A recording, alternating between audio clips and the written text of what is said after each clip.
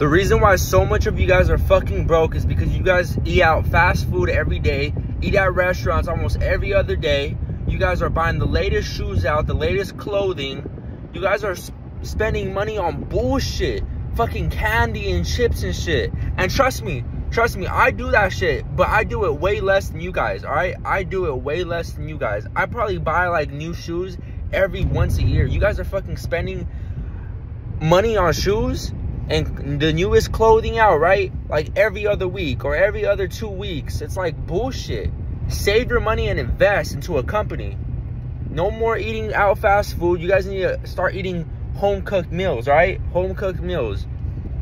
And trust me, I need to start doing the same thing. This is advice for me and you. We need to start doing this. We need to save our money. We need to start up our own business. We don't want to be employees no more. Get that shit out of our mind. We don't want to work 8 to 12 hours a day and spend more time with our employees than our own family. All right? Think about it.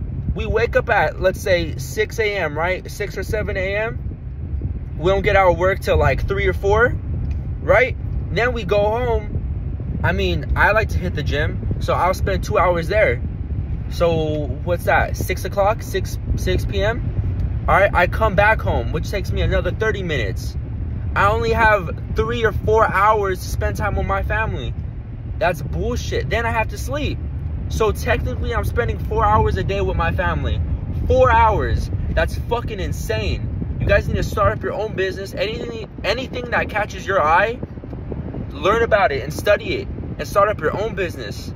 I'm in this construction shit because I'm peeping game. I'm trying to start up my own business here come on, guys. You guys need to, you guys need to really fucking think about it. Think about this. Not everything is a conspiracy, right? Not everything is a, is a conspiracy. It's an actual fact. We are slaves out here.